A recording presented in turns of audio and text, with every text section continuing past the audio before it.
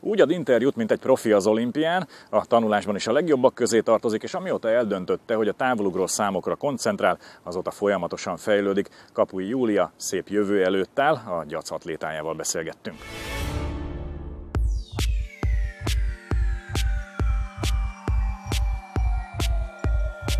A 14 éves Kapui Júlia az egyik legtehetségesebb fiatal atléta Magyarországon. Ha a távolugró számokat nézzük, akkor pedig korosztályában a közvetlen elitbe tartozik, így a válogatott összetartásoknak is állandó résztvevője. Sportolói pályafutására tudatosan készül, mindent ennek rendel alá, és amellett, hogy kiváló eredményeket ér el a versenyeken, a tanulásban is az a célja, hogy kitűnő legyen.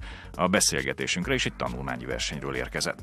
Épp a Bolyai Magyar versenyről érkeztem. Szoktam tanulmányi versenyeken részt venni, mert nekem a versenysport mellett fontos a tanulás is, és az a minimum magammal szemben, hogy kitűnő legyek, de a tanulmányi versenyeken is részt veszek. Előfordul, hogy néha előre kell tanulnom, vagy épp pótolnom kell egy kicsit, de szerencsére már megtanultam beosztani az időmet, és úgy gondolom, hogy ennyit igazán megér a sport, mert nagyon sok örömet okoz nekem. Nem az atlétikával kezdtem. Másodikas koromban kezdtem el kézilabdázni, az volt az első sport, amit így komolyabban űztem.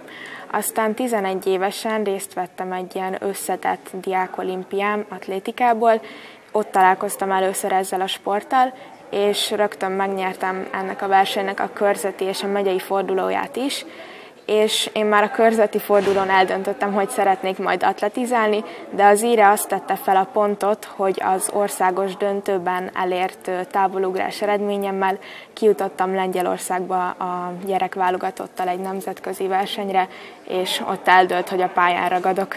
Nagyon fontosnak tartom azt, hogy mindenki megtalálja azt a sportot, amit szeret is csinálni, és sikeres benne. Úgy érzem, hogy ez nekem az atlétikával sikerült.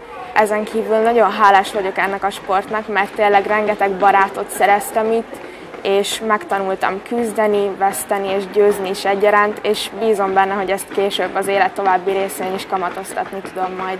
Távolugrásban és ötösugrásban szoktam sokat versenyezni, részben azért, mert ezeket szeretem a legjobban, másrészt pedig ezekben értem el a legjobb eredményeket. Először talán arra voltam legbüszkébb, amikor kiutottam minden előzetes felkészülés nélkül a Diák Olimpia országos döntőjére, és ott ötödik helyezést értem el, de ugye távolugrásban az elért eredményemmel kiutottam Lengyelországba.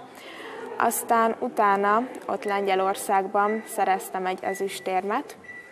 Ezután volt egy újonc országos bajnokság, ahol a három aranyérmet szereztem, és talán arra gondolok vissza, mint a legjobb és legkedvesebb versenyemre, hogy háromszoros magyar bajnok lehettem egy hétvége alatt, és még egyszer is kijutottam Lengyelországba, ahol szint, ahonnan szintén egy ezüstéremmel tértem vissza, majd idén a fedett pályás országos bajnokságon is két ezüstérmet szereztem, illetve még azt is egy ilyen sikeremnek gondolom, hogy idén bejutottam az ugró válogatott keretbe.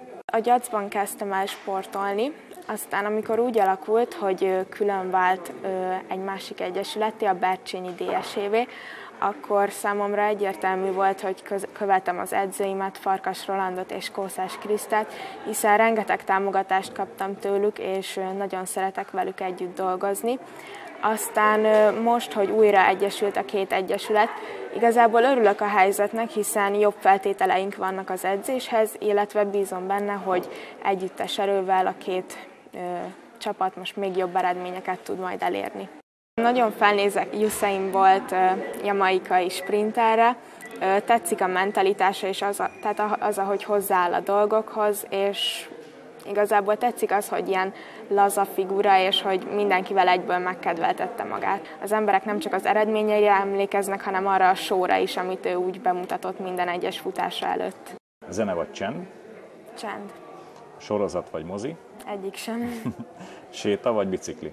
Séta. Kézilabda vagy kosárlabda? Kézilabda. Fekete-fehér vagy színes? Fekete-fehér. Narancslé vagy kóla? Narancslé. Tészta vagy hamburger? Tészta. Magyar egyetem vagy amerikai egyetem? Hát, magyar. Hegyvidék vagy tengerpart? Tengerpart. Kirándulás vagy pihenés? Kirándulás. Szigorú edző vagy barátkozós edző? Hát szerintem az a legjobb, hogyha mindkét tulajdonság valamilyen szinten megvan egy edzőben, mert azért kell az is, hogy szigorú legyen, de azért kell a barátságosság is.